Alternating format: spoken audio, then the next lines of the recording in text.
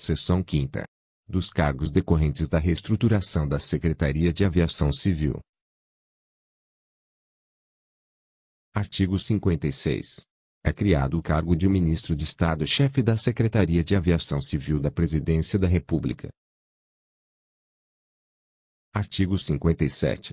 É criado o cargo em comissão, de natureza especial, de Secretário Executivo da Secretaria de Aviação Civil da Presidência da República. Artigo 58. São criados, no âmbito da administração pública federal, os seguintes cargos em comissão do Grupo Direção e Assessoramento Superiores destinados à Secretaria de Aviação Civil. Inciso 1. 2 das 6. Inciso 2. 9 das 5.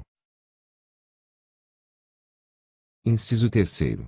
23 das 4. Inciso 4. 39 das 3. Inciso 5.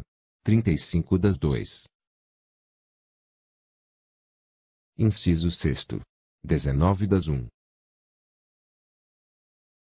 Artigo 59.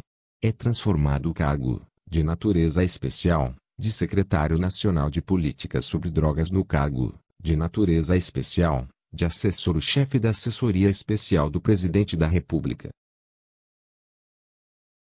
Artigo 60.